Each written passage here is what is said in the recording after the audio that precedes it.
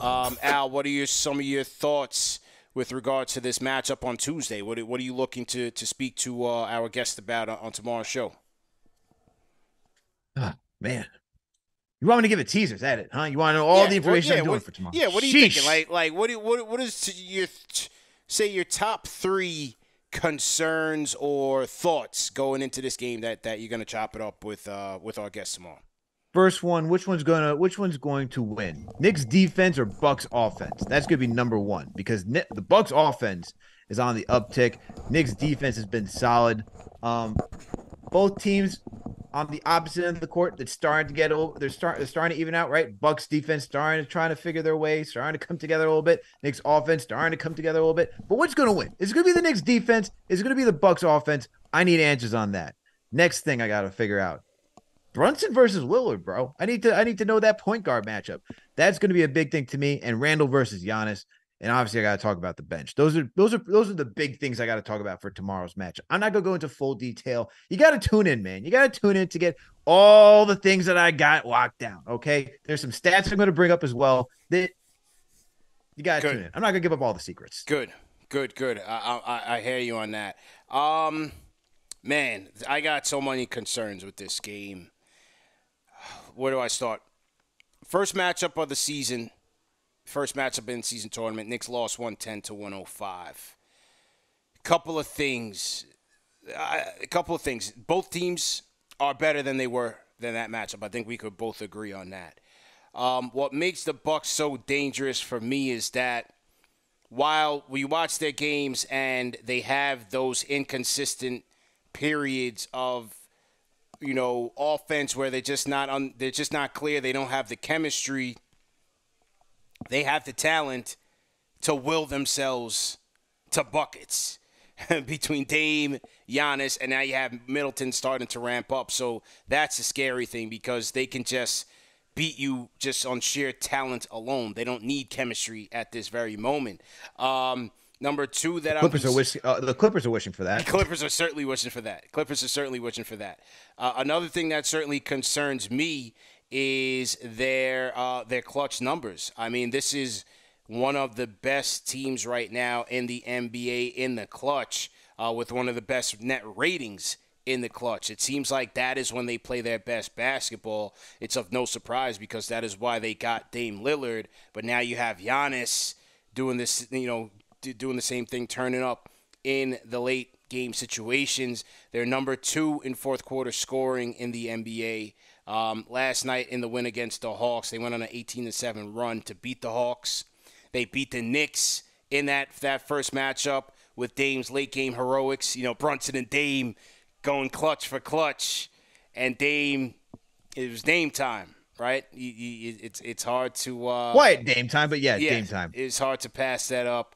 Uh, Bucks being nine and one at home, so for the Knicks, it, it's going to be first of all, it's going to be all hands on deck. One of the things that uh, certainly helps is that they didn't have RJ in that last loss. They have him this time, but for me, it's going to be two things. You know, how do you close that talent gap that the Bucks have? How do you close that talent gap? Well, for one, it's going to be if Brunson's coming to the dance, who's coming with him? It's got to be Julius. Julius has to play better. He's got to play better. He shot five for 21 from the field in that loss. Went like one for six from downtown and one for nine from downtown. That's not going to get it done. He's going to have to get it. He's going to have to play. You know, we, we just ran off his last three games. He's going to have to play like that. He's going to have to play like that. And for me, when you watch that first game, he had a lot of opportunities where he was taking Giannis off the dribble and having success and using his physicality. And I think he should do that. Put the pressure on Giannis early in this game to say, hey, listen, we're not going to just sit back and, and let you get comfortable here. You're going to have to defend. And hey, maybe we get him in foul trouble. Maybe you pick up. He gets his two personal fouls in the first half and has to miss some time. Julius had some some success there. He needs to go back to that. Where he didn't have success is where he was settling for contested, tough jumpers, tough mid-range shots, tough threes. He he can't do that. When it when Portis and Giannis are on him, he's got to be in attack mode, just like how he's been in the, these last few games this week. He's got to do that. If Brunson is coming to the dance, Julius has to as well. And, and, and I think that's going to be one of the ways that they uh, that they can win this game. It's got to be on the offensive end. I don't think defensively they, they can they can get the proper stop. And look, nothing's ever guaranteed in, in, in any matchup, right? Like how Brunson put up 45 against the Bucks. Uh, it's it's hard to guarantee that. Although the Bucks perimeter defense is horrific. Yeah. Uh, I, I I'm still. It's gonna be a big game. Brunson's one of the better players when it comes to the in-season tournament. I expect him to take advantage of a weak perimeter defense and, and call his own number when needed. But you brought up Julius Randle, and I'm gonna take. Uh, I'm gonna add on to that, CP. We know the storyline was with Randle in the playoffs. Well, this is a big game. This is a big game. There's going to be some, you know, playoff like intensity because of what stakes are on the line. You know, we already heard between him, Brunson, and RJ say how much they want to do this for the guys on the end of the bench and their coaches. Well, this is for even though it's for a championship, even though it's not a seven game series, you only get one shot. So you got to show up in this one shot, man, against a t- against a good offensive Bucks team. So for Randle, I'm looking to see can he come up with uh, for money time, as you always Money say, time. CP. This is money time. All right, do you, can you advance to the next round? Because we're going to see tomorrow when the when the lights are not necessarily the brightest like it is for the NBA championship, but it's going to be pretty bright. Yeah. Look, na- it's going to be nationally televised. Everyone's going to be tuning in. Right. Can can you step up for a big game? Right. That's going to be my biggest question. And then the next thing I would say for this Bucks matchup is I'm looking at the benches, man. The Bucks don't have Jay Crowder right now. He's Yeah. out. Uh, he had surgery. He's going to be out for eight weeks due to a groin injury. Um, I'm looking to see how the Knicks are going to be able to match up what Bobby Portis does because he's such a key thing He's been a for what he does, right? And, and our four is Josh Hart. They got a legitimate four. So I'm interested Yeah. to see how we're going to defend that.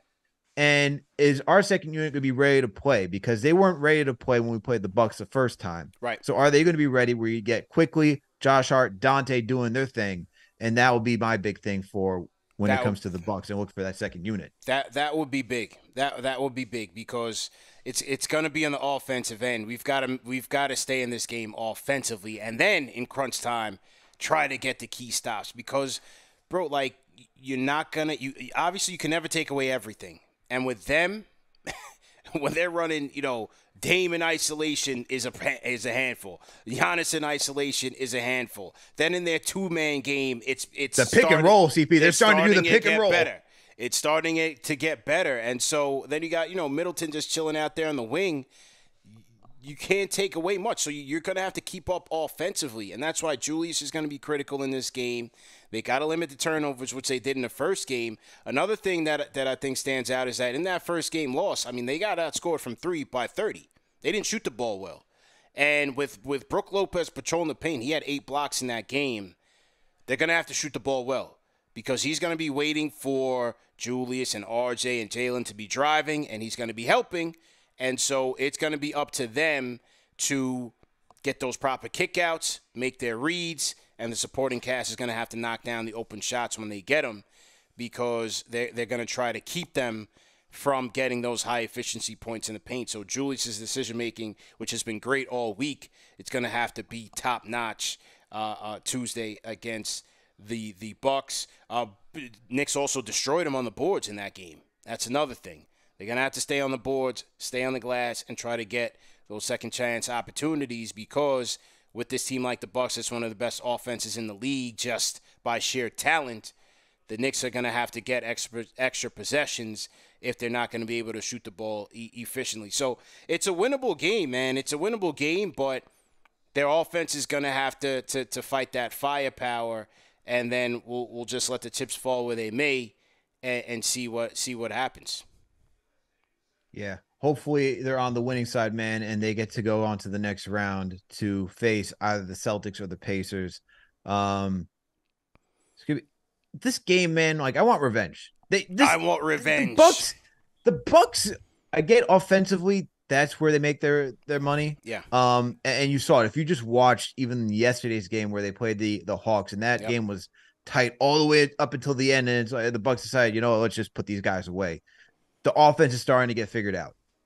They're starting to use the Giannis and and uh Gian, they're starting to use the Giannis and Dame pick and roll a Yep. little bit more now. Yep. That's that's lethal. Yep. Um Knicks just got to be able to keep up offensively, man. I know you don't think the defense is going to be what able to stop them, but well, Dame only had 20. Uh, it was also like relatively, it was a quiet night Yeah. for the Bucks when they played the Knicks the first time, and the Knicks played poorly. Yeah. Okay. Just pulling up the stats right now from that first game, as uh as as ESPN decides to say somewhere else. Here we go. Mhm. So first game, you had Dame's quiet 30. And I say quiet because it didn't even feel like it was yeah, it was just quiet. It was quiet. you know, it was quiet. You had Giannis have 22. And I thought Mitch did a good job defending uh Giannis and Brook in that game. Um, for the most part.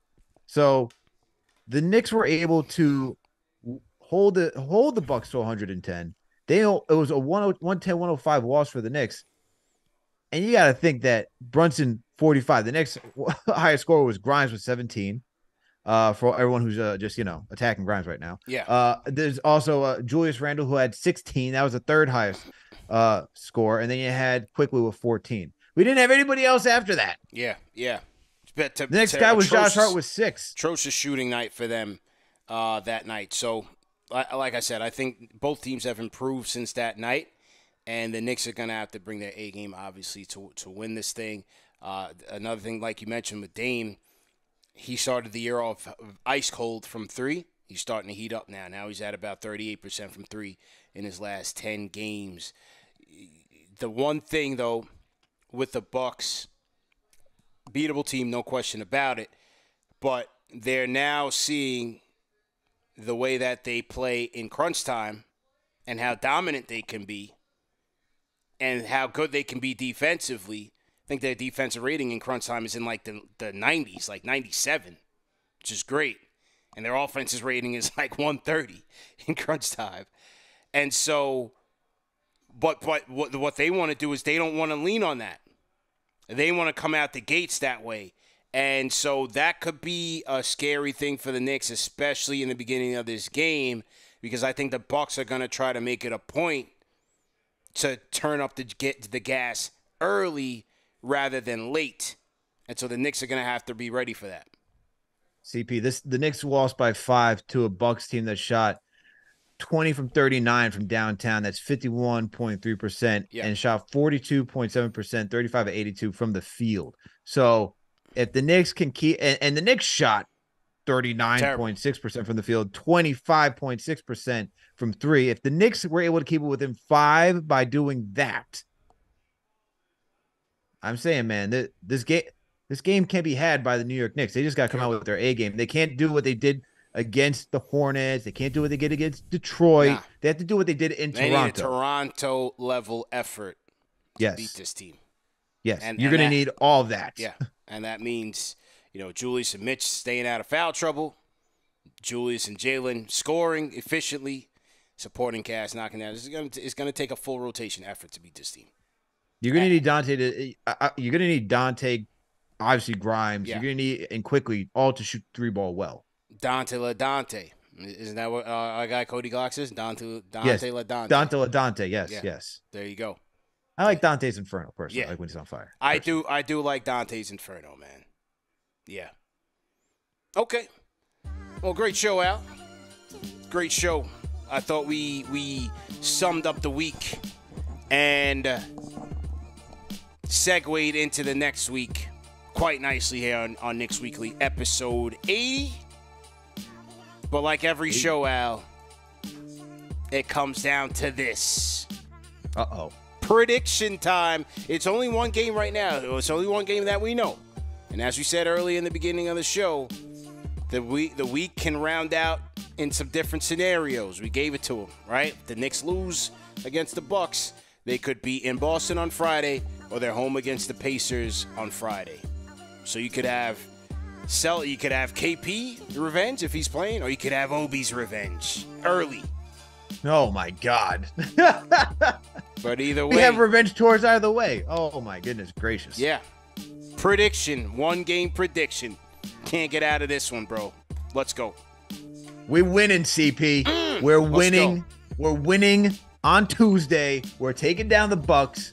We're going to the next round of the in-season tournament of the knockout Let's round. go. Okay, you heard it here first. Well, I'm with you, man. I'm going with a W. I'm going with a win in the Cream City. Pause.